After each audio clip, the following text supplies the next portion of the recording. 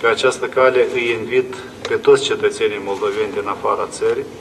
care vor să se implice în dezvoltarea Republicii Moldova. Acum este o posibilitate și o oportunitate foarte bună să aplice pentru acest program Diaspora Engagement Hub, mai bine zis la proiecte concrete, care să fie dezvoltate împreună cu reprezentanții diasporei.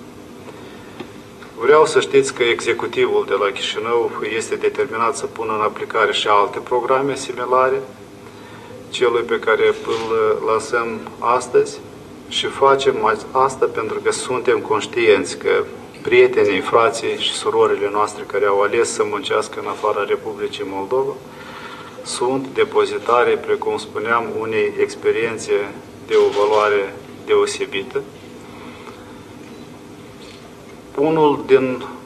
sau obiectivul general, de fapt, al uh, guvernului, dacă o fi să însumăm toate prioritățile care se regăsesc în programul de guvernare și ulterior în planul de activitate a guvernului, este să ridicăm calitatea vieții cetățenilor Republicii Moldova. Ori, din punctul meu de vedere, ăsta este cel mai important lucru atunci când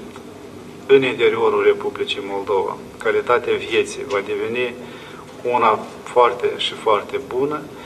atunci și prin intermediul acestor programe și prin intermediul multor alte programe care pot fi finanțate nemijlocit deja și din bugetul Republicii Moldova, vor duce la integrarea tuturor cetățenilor Republicii Moldova.